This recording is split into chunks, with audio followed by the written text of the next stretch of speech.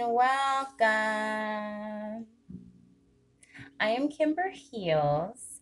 Today is Tarot Tuesday, and I am very, very, very excited to be bringing this week's message from a brand new deck for me, not a new deck to the world, but Kyle Gray's Keeper of the Light Oracle cards gets the bell today as well as the honor of being our intuitive crystal read.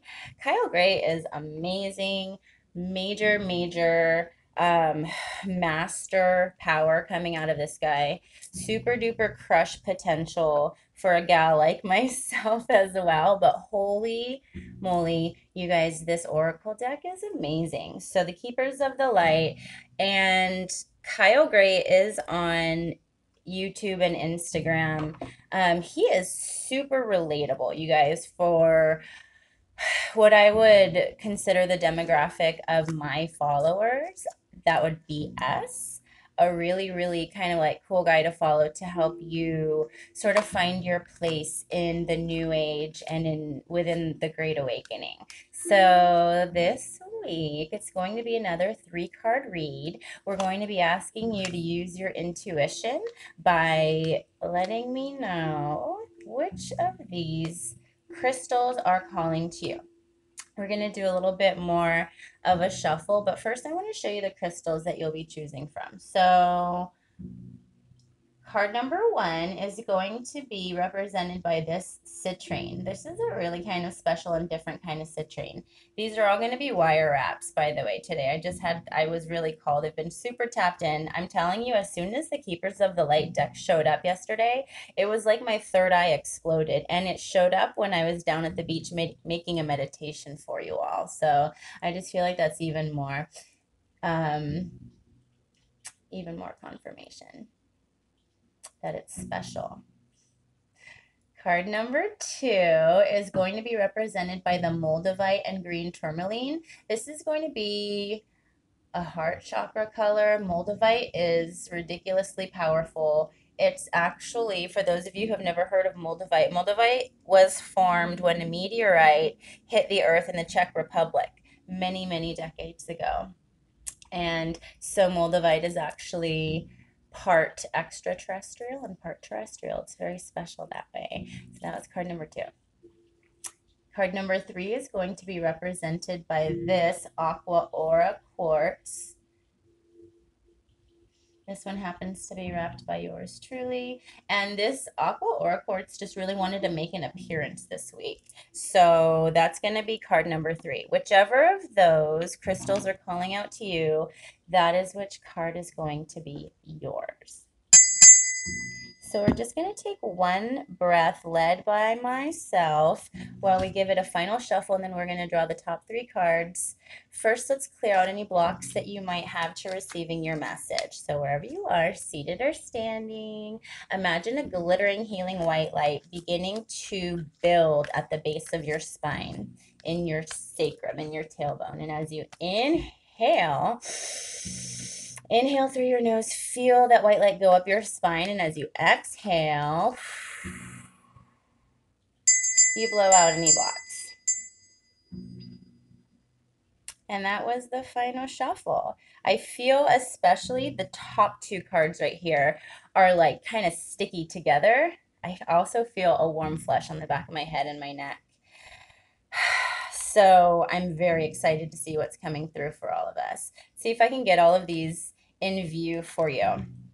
So, card number one was represented by, like we mentioned, Citrine.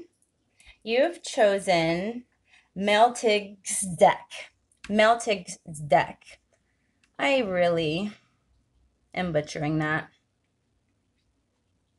Melkid's deck. Higher learning. You have learned from experience. More inner study is now required to further progress.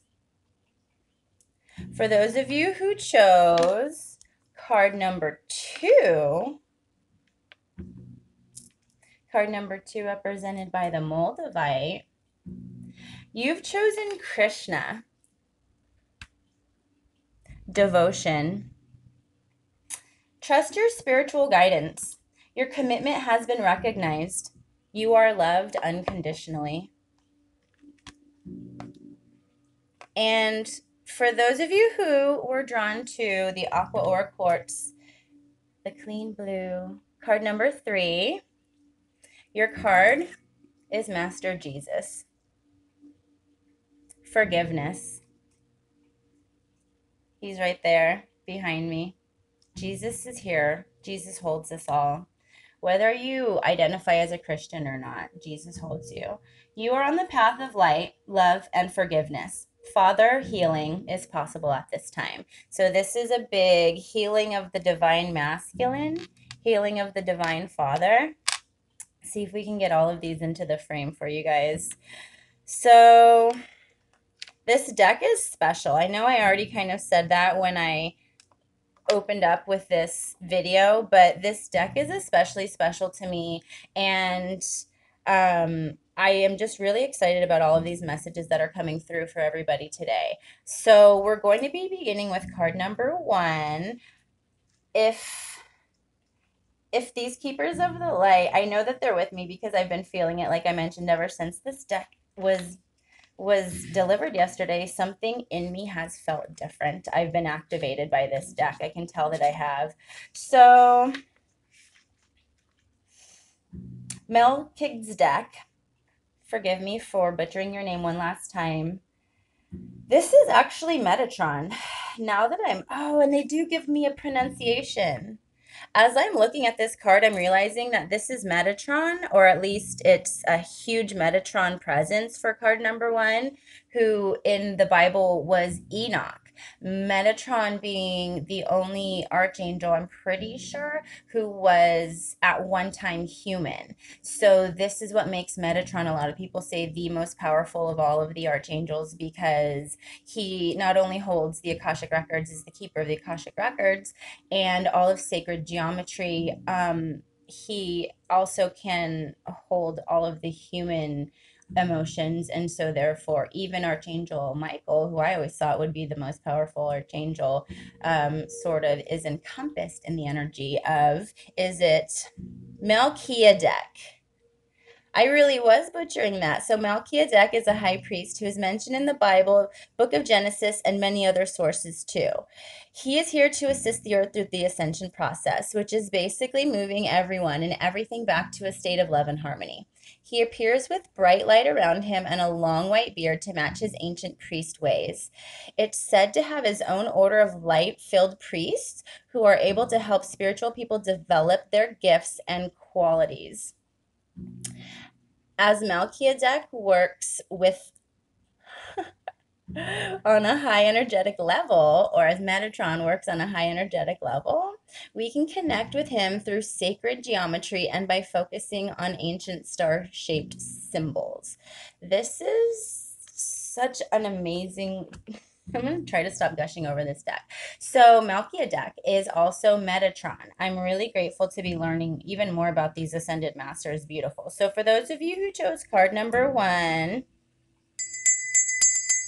represented by the citrine, you've chosen Melchizedek, also known as Metatron, Metatron, the keeper of the Akashic Records. Mm-hmm. So the messages for you is you have so much divine power right now. You have sort of like a straight line to your psychic powers. Mm-hmm. Whatever it is that you're looking to manifest right now, it's time to sort of like really dive into what your true wisdom and knowledge is because that's when you're going to realize excuse me, that's when you're you're going to realize that you have basically access to any potential outcome, to any um, effort that you might be putting out toward these goals that you're that you're setting. So for those of you who chose card number one, Melchizedek or Metatron, harness this power because this power is yours. It's real. You are mm-hmm. tapped in. You do have help. And this is really a message of wisdom for you guys. Super, super, super cool. Love that message. For those of you who chose card number two, you were drawn to the Moldavite. These cards are really sort of following their crystals too, aesthetically, as well as sort of like with the messages. You've chosen Krishna devotion.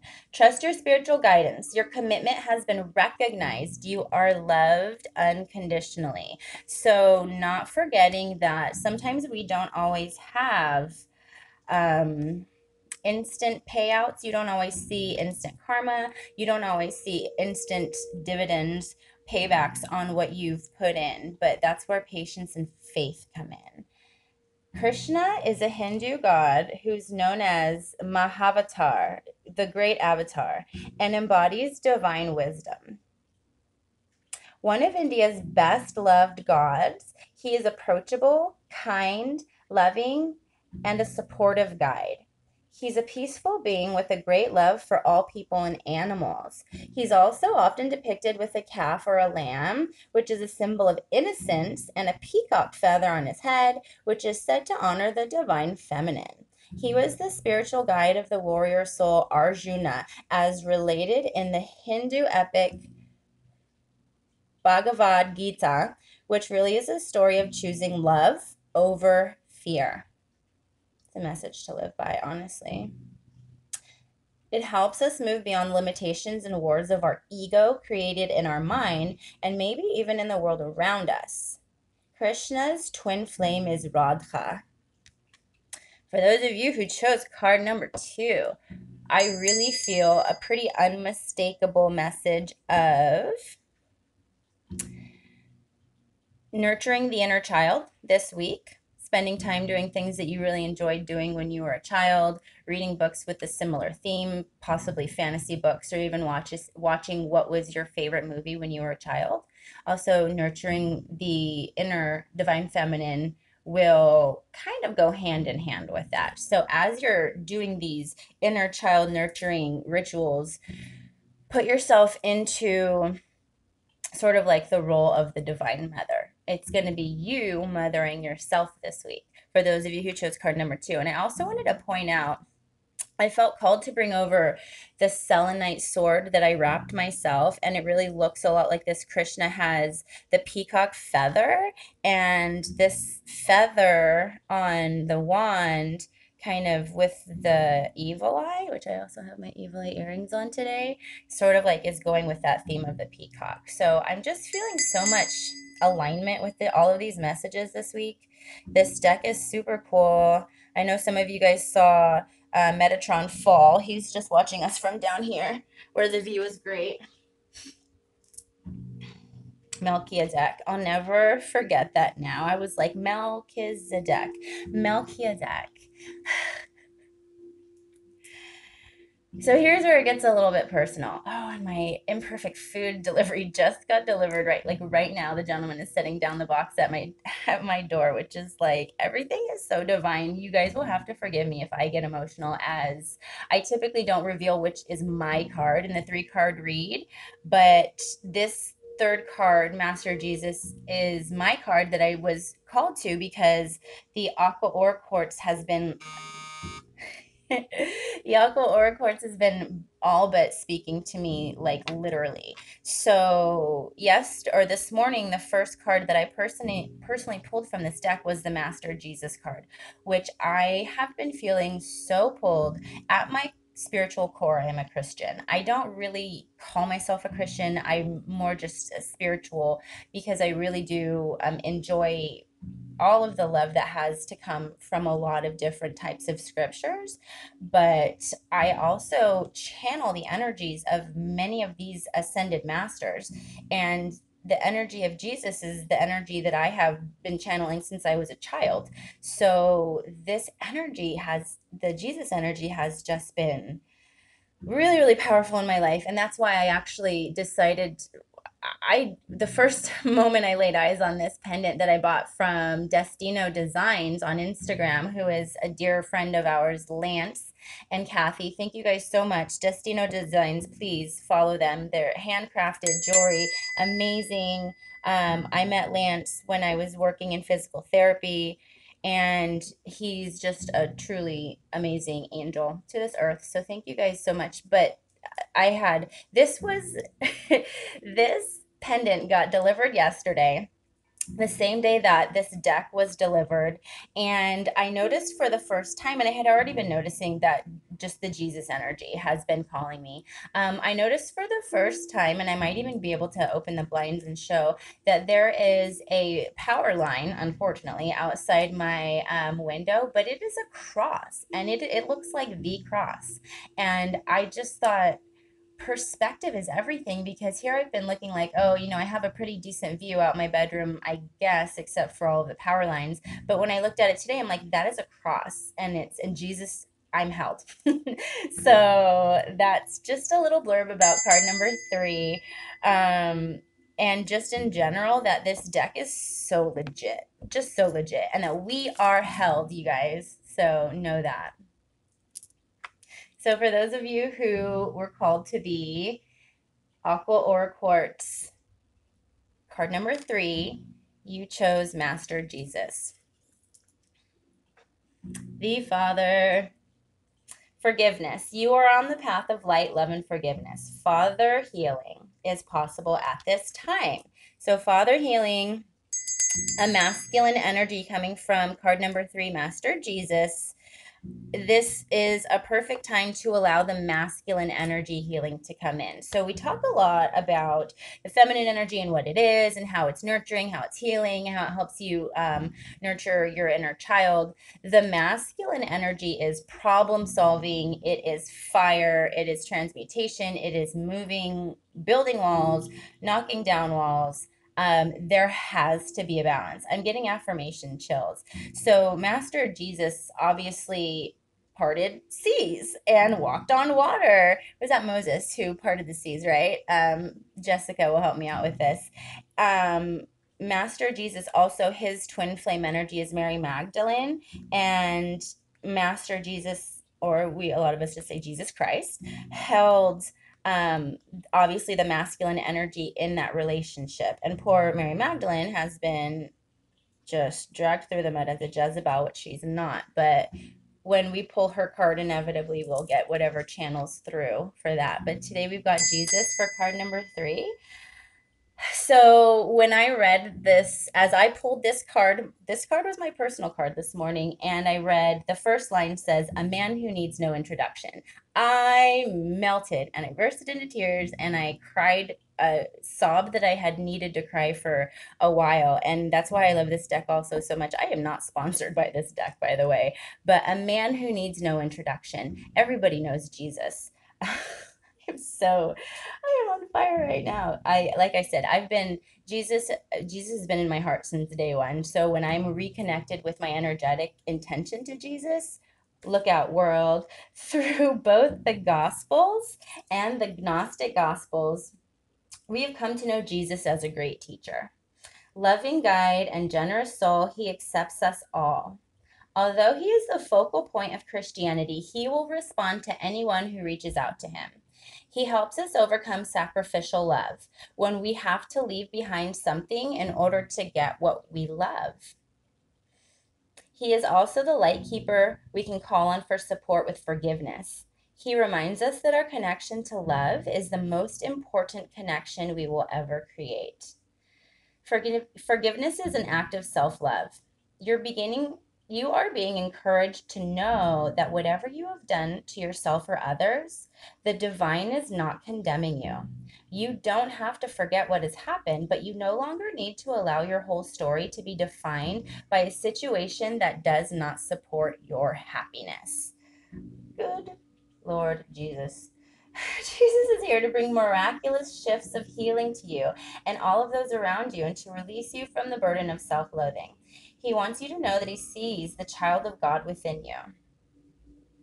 He also brings clarity and healing to any situations concerning your Father, either on earth or in heaven. Thank you, Jesus, for that message from card number three. Of all the ascended masters, nobody can make me want to just like jump up and down and cheer like Jesus does. So Jesus is bringing all of those of you who chose card number three a lot of acceptance. He is giving you the power to, he's giving you the permission really to stop with the self hatred, to stop with the self loathing, hand it over. As my cousin Bella would say, lay it at God's feet, lay it down at Jesus's feet. My cousin April would say that she taught Bella that. God taught them all that. Um, so lay it down, lay it down at the feet of your father. And if this is speaking to somebody who would like to improve the relationship that they have with their actual earth father, especially if you were somebody who chose card number three, but not only if you chose card number three, because this message is for all of us. Um, Jesus is with you. You have all of the healing power within you.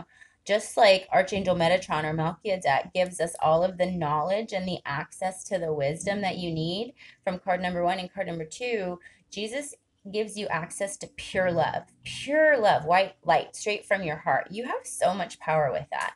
Um, Jesus was a flesh and blood man, just like how you and I are flesh and blood humans, earthlings. So take advantage of the power that's around you guys.